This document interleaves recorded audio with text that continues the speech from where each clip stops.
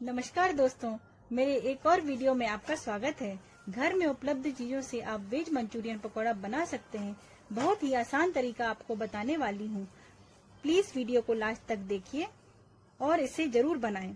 घर में बच्चों को बहुत ही पसंद आएगा तो शुरू करते हैं। दो बड़े प्लेट वेज मंचूरियन पकौड़ा बनाने के लिए आपको चाहिए आधी चम्मच सौंप एक बाउल बारीक कटा पत्ता गोभी, एक प्याज बारीक कटी, हरी मिर्च गाजर, चुकंदर का छोटा पीस, हरी धनिया, आधा बाउल मक्के का आटा, आधा बाउल बेसन, एक बड़ा बाउल मैदा, लाल मिर्च पाउडर, एक चम्मच धनिया पाउडर, एक चम्मच गरम मसाला, स्वाद अनुसार नमक, अदरक, लहसुन, रिफाइंड ऑयल। आधी शिमला मिर्च बारीक कटी।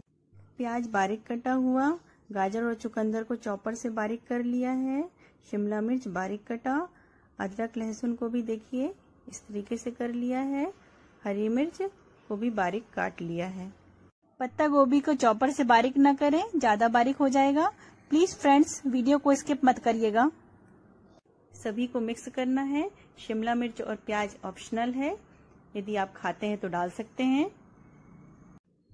इसमें हरी मिर्च ऐड कर दिया।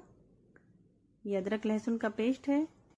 फ़ूड कलर की जगह मैंने चुकंदर यूज़ किया है। आप चाहे तो फ़ूड कलर यूज़ कर सकते हैं थोड़ा सा इसमें मैदा ऐड कर दिया है। ध्यान दें, मक्के का आटा और बेसन मैदे के आधे से कम लेना है। सौंफ और गरम मसाला ऐड कर दिया है। नमक स्वादानुसार डालें। हरी धनिया डाला। कलर लाने के लिए फ़ूड कलर का यूज़ करें, नहीं तो चुकंदर का यूज़ करें आप। धनिया पाउडर, लाल मिर्च पाउडर स्वादानुसार डालें। फ्रेंड्स मैं आपको अच्छे वीडियोस देने के लिए बहुत मेहनत कर रही हूँ। ये नीचे देखिए सब्सक्राइब बटन इस पर टच करना है तो प्लीज़ टच कर दीजिए। ध्यान दें, इसमें पानी बिल्कुल भी यूज़ ना करें। फ्रेंड्स मैं नेक्स्ट वीडियो में मंचूरियन ग्रेवी और पिज्जा हट डोमिनोज जैसे पिज्जा घर की ही चीज़ों से बनाना बताऊँगी। आपको मार्केट जाने की कोई ज़रूरत नहीं है। आप मेरे वीडियोस प्लीज़ वॉच करते रहिए। इसे अच्छे से मिक्स कर लिया था। पाँच मिनट बाद इसे बनाएँगे। ज़्यादा लेट नहीं करना, क्योंकि इससे पानी अपने आप ही रिलीज़ होता है। आप ये मत सोचिए कि ये बिना पानी के कैसे मिक्स होगा। पत्ता गोभी में जब नमक डालते हैं तो ये पानी छोड़ता है। यदि ये पेस्ट थोड़ा गीला हो जाए तो आप थोड़ा मैदा मिक्स कर लें। इस तरीके से ये बॉल्स बना बनाकर रख लें। ऑयल को अच्छे से गर्म होने दें, उसके बाद ही बॉल्स डालें।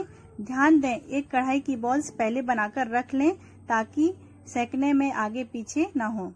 इन्हें ऑयल में डाल दें। दोस्तों, मैं पूरी कोशिश कर रही हूँ कि आप लोगों को रेसिपी बनाने के ऐसे तरीके बताऊँ, जिससे गाँव का किचन हो या शहर का।